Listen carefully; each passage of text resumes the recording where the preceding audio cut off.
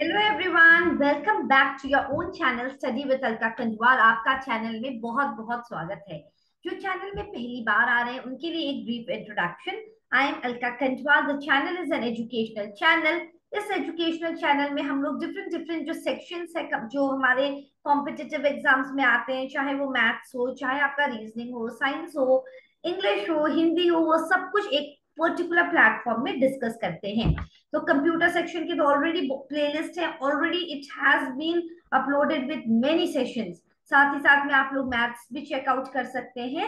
And if it resonates with you अगर आपको समझ में आ रहे हैं कॉन्सेप्ट तो डेफिनेटली आपको लाइक शेयर और सब्सक्राइब ज़रूर कर लेना चाहिए। तो अभी जो फ़िलहाल हमारा है हम लोग कर रहे हैं G triple S B J J A का डिस्क्रिप्टिव पेपर की प्रिपरेशन सो so, जो बच्चे जो C S I R S O A S O के लिए भी आगे की प्रिपरेशन करना चाहते हैं।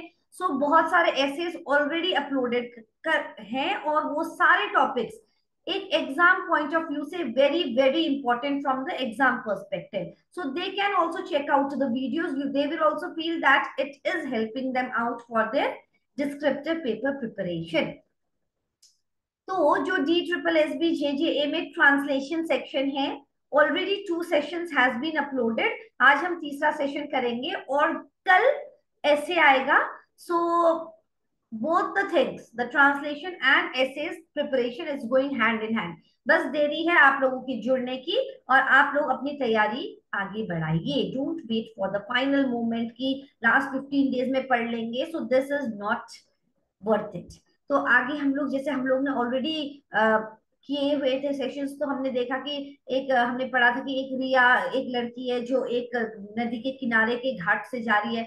अब जब ये वर्ड्स आ जाते हैं, घाट से जा रही है हाउ डू वी ट्रांसलेट तो हमने देखा घाट मतलब पी आई ई आर पियर बोलते हैं, है ना? एक खेत से जा रही है तो देर इज़ अ फ़ील्ड सो जब हम लोग प्रैक्टिस करते रहते हैं, जो नए टर्म्स है मतलब वो भी ऑलरेडी नो दैट मगर जब हम लोग वो एग्ज़ाम का प्रेशर है, बहुत सारी चीज़ों में हम लोग उसमें कंफ्यूज हो सकते हैं। So please keep on checking out the videos and just अपना प्यार दीजिए एंड डेफिनेटली लाइक शेयर और सब्सक्राइब करना ना भूलिए। And you can motivate me by your beautiful comments some of you are sending the comments and i'm really thankful to all of you. So, let us start. The session today, so here we go with the first session. chaliye तो आज का session की शुरुआत किया जाए। Are you all ready so चलिए। अब है आज की, जब मैरी ने घुमावदार रास्ते पर अपना रास्ता बनाया तो जंगल में ताजी गिरी हुई बारिश की गंध आ रही थी। So the forest was smelling of what बताओ फ्रेशली फॉलन रेन फॉरेस्ट में क्या, किसकी सुगंध आ रही थी? It was it was the forest smelled of the freshly fallen rain as Mary जब मैरी ने क्या किया? मेड हर वे रास्ता में उसने अपना रास्ता बनाया ना? As Mary made her way along with the winding path तो फॉरेस्ट ने कैसे smell the? Smelled of the freshly fallen rain as Mary made her way along with the winding path तो घुमावदार रास्ते को हम सर्किटियस रोड भी बोल सकते हैं। और मतलब कि इसमें दिया कि जैसे ही वो चल रही थी तो जंगल में एक खुशबू आ रही थी। So the we will write the forest smelled of the freshly fallen rain as Mary made her way along the winding path अब इसमें क्या है? हवा के साथ पेड़ हिल रहे थे। सो द ट्रीज अब कैसे लिखेंगे? पेड़ हिल रहे थे। So the trees swayed with the breeze so the trees way what swaying the trees swayed with the breeze ठीक है? हवा के साथ पेड़ हिल रहे थे। The trees swayed with the breeze और उसने झाड़ियों में बुश में, ये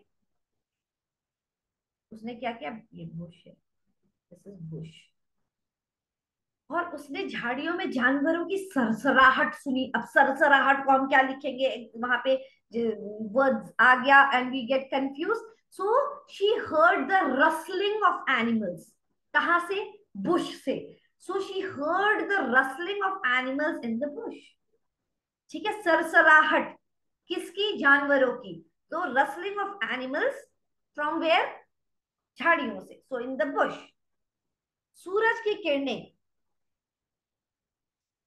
पत्तों ने पत्तों को काट डाला. The sun beams cut through the leaves पत्तों को काट डाला. सो द सन बीम सूर्य की किरणें sun beams cut through the leaves and उसके आगे का रास्ता रोशन कर दिया।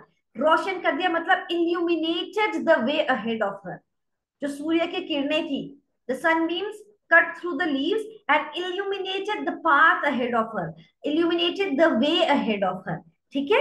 रोशन कर दिया। Illuminated वाइल्ड फायर के एक टुकड़े की प्रशंसा करने के लिए रुकते हुए स्टॉपिंग टू एडमायर मतलब कि प्रशंसा करने के लिए। So she was admiring a patch of wild flower so stopping to admire a patch मतलब एक टुकड़े को a patch of wild fire Mary खुद मुस्कुराई।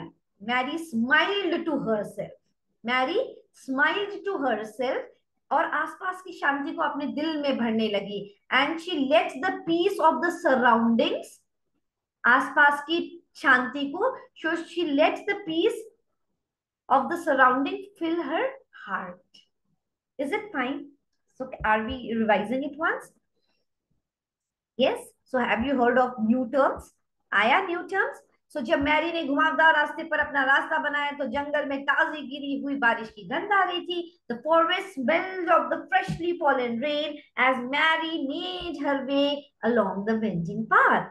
हवा के साथ पेड़ हिल रहे थे The trees, the trees swayed with the breeze और उसने झाड़ियों में जानवरों की सरसराहट सुनी and she heard the rustling of animals in the bush सूर्य की किरणों ने पत्तों को काट डाला the sun rays the sun beams cut through the leaves or illuminated the path ahead of her wild flower के टुकड़े की प्रशंसा करने के लिए रुकते हुए stopping to admire a patch of white flower she smiled to herself and आसपास की शांति मतलब the peace which was there in the surrounding let the peace of the surrounding fill her heart is it fine तो हमने नए नए word सीखे कि अगर हमने फॉरेस्ट जंगल फॉरेस्ट फिर फ्रेशली फॉलन रेन और उसके बाद हमने ये भी सुना कि स्वेड मूव कर रहा है जब पेड़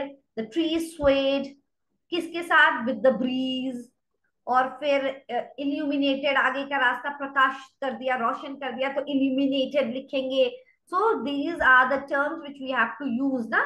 तो भी, और एक प्रशंसा करने के लिए, अगर किसी की so just stopping to admire मतलब उसकी खूबसूरती को, प्रशंसा को अपने मतलब उसके लिए उसने वो रुकी so she stopped to admire a patch of wild flower and she smiled to herself अपने लिए वो मुस्कुराई अब आगे करें नेक्स्ट अब दूसरा करते हैं is it fine any doubt just mention in the comment section अब देखो भारतीय संविधान दुनिया का सबसे बड़ा लिखित संविधान है the Indian constitution is the longest written constitution in the world very easy भारतीय संविधान in the Indian constitution world का so it is the longest written constitution in the world and इसमें भारत के नागरिकों के अधिकार सो इट क्या क्या किया गया है? स्पष्ट रूप से परिभाषित किया, किया गया है।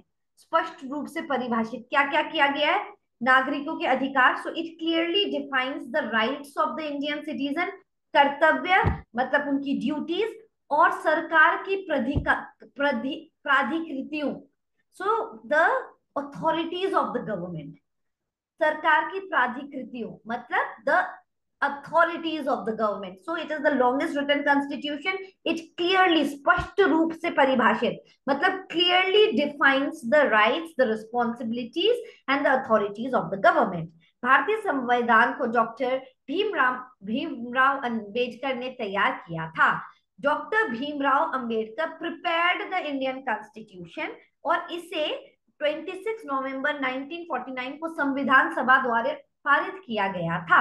So doctor Bhimrao Ambedkar prepared and which was adopted तो क्या लिखा है? संविधान द्वारा 26 नवंबर 1949 को संविधान सभा द्वारा। सो द कॉन्स्टिट्यूएंट असेंबली ठीक है? Which was adopted by the constituent assembly on 26 November. तो हमको ये पता होना पड़ा, पड़ेगा कि पारित किया गया था। तो अडोप्टेड विच वॉज़ अडोप्टेड किसने किया था? संविधान सभा द कंस्टिट्यूएंट असेंबली भारतीय संविधान 26 जनवरी 1950 को प्रभाव से पारित हुआ था। So, the Indian Constitution came into effect on 26th January 1950 and since then, तब से इस दिन को गणतंत्र दिवस के रूप में मनाया जाता है। So since then it is celebrated as the republic day every year समझ में आया? So The Indian Constitution is the longest written constitution in the world. It clearly defines the right of the Indian citizens, their duty, their responsibilities, and the authorities of the government. Dr. Bhimrao Ambedkar prepared the Indian Constitution, which was adopted by the Constituent Assembly on 26th November 1949. The Indian Constitution came into effect on 26th January 1950 and since then this day is celebrated as the republic day every year तो ये है आप लोगों का translation both the translation have the words अगर आप लोगों को सेम नहीं मिलेगा तो at least this will definitely help you to do the in the translation process what do you think अगर लगता है कि हाँ ये हेल्पफुल है and I should come up with many more sessions before आपका ये the exams if you want more sessions like this this essays and grammar so definitely definitely on the chat box उसमें कमी मत कीजिए, अपने प्यार को देने में कमी मत कीजिए एंड डेफिनेटली लाइक शेयर और सब्सक्राइब में तो बिल्कुल कमी मत कीजिए। So this is it for today's class so all the best everyone and God bless you all so take care everyone bye bye God bless